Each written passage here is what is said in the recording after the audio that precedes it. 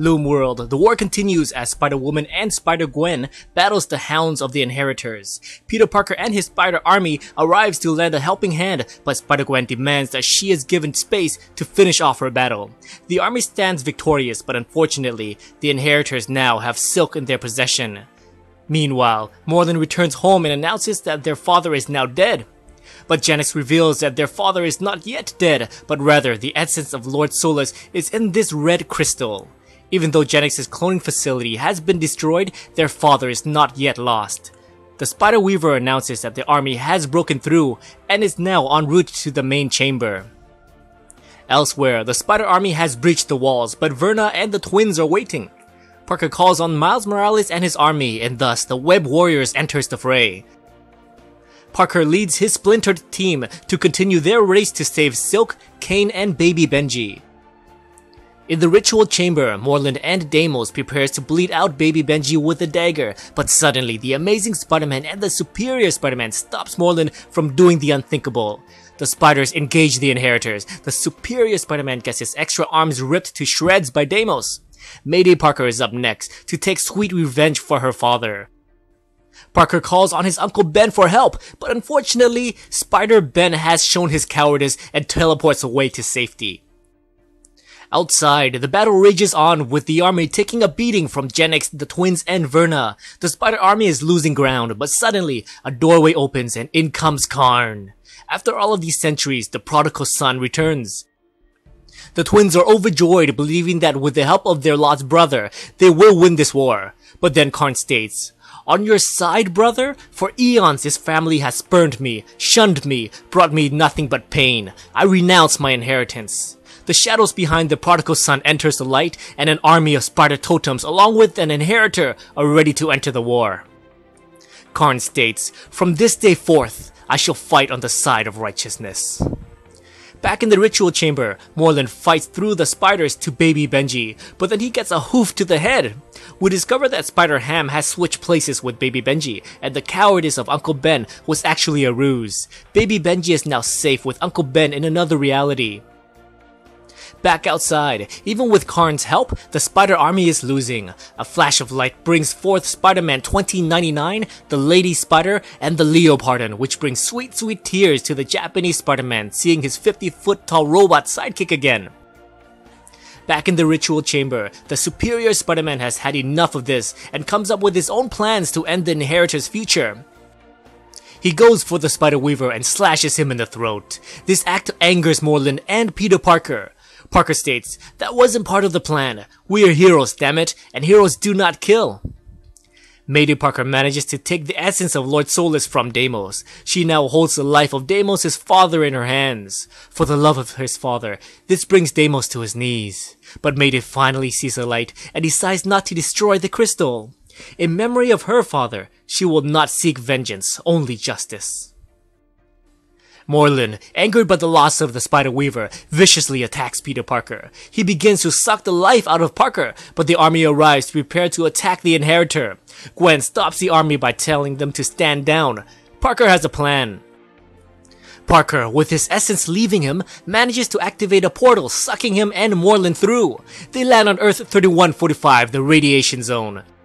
Parker has done it. He will sacrifice his life in the radiation devastated world to trap Morlun. But Parker is the hero of the story, and he cannot die. Silk sends Parker a lifeline, and thus he swings out of this world and back to Loom World.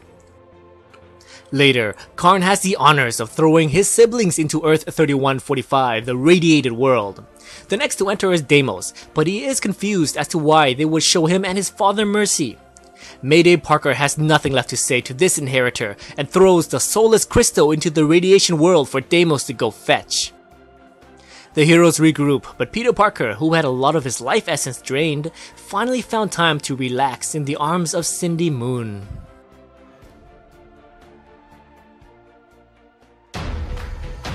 What's going on guys? Welcome to Comic Island!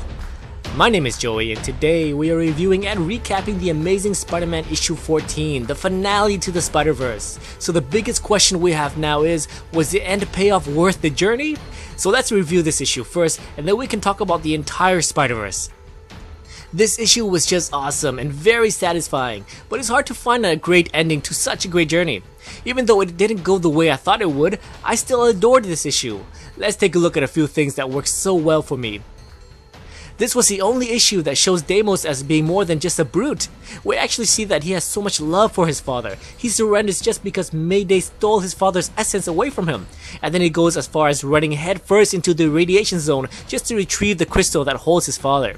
Daemos for me is the breakout star of this issue, but it's a shame because the Spider-Verse is over. So I originally thought that a lot of the spider army would die in this last battle, but I don't think we saw any spider deaths. As far as I know, no one in the spider army died. I would like to see a few deaths, just to show some devastation and the chance that the inheritors are winning. Of course we know that the army has Karn and the Leopardon up their sleeves, so we know the inheritors wouldn't stand much of a chance. So I was hoping for a bit more in this last battle. It was great having Karn turn on his family, and I got chills when Karn returns home, and then we also got the Leopardon back. In an issue with so many personalities, I thought Karn got some good screen time, but I wanted to see the Leopardon kick some ass. Uh, that didn't happen. now let's take a look at the Spider Weaver. From what I understand, he weaves the threads of future and can predict prophecy. He also opened doorways for the Inheritors to travel the multiverse. So with him now dead, I guess the Inheritors will be stuck in the radiation zone. Can they even survive in that world? Obviously, they are not yet dead, and that being said, it opens up the possibilities for the Inheritors to return one day, and I assume Lord Solus would be brought back as well. So that was a bit disappointing. I wanted to see some Inheritor deaths. Even though Mayday did the right thing, I kinda wanted to see her kill Daemos. Uh, I know I'm evil. oh, by the way, what happened to Kaine? We saw him being stabbed through the head by Morlun. Is Kaine dead? And now what will happen to the superior Spider-Man? We know he lost his memories and be brought back to his time with only 9 hours gone. I'm gonna speculate that the Spider Army subdues Doc Ock and mind wipes him and throws him back to his own time. so this is my final thoughts on the Spider-Verse and this issue. The journey was better than the end. I enjoyed Spider-Verse so much during the middle.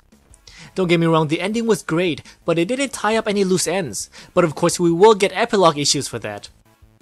I love the Spider-Ham. He was the big humor relief of this event. I'm also glad that Spider UK didn't die, but at least give me some spider deaths. it felt like the Inheritors didn't stand a chance, knowing what the Spider Army has in their battalion. Alrighty guys, so what do you think about the Spider-Verse as a whole? Please let me know in the comments below. Thank you so much for following my coverage of the Spider-Verse. If you missed any issues and want to backtrack, you can find the entire Spider-Verse reading order checklist on comicisland.org. The link will be in the description below. And as always, if you enjoyed this video, please like, subscribe, and I'll see you next time in the amazing Spider-Man issue 15.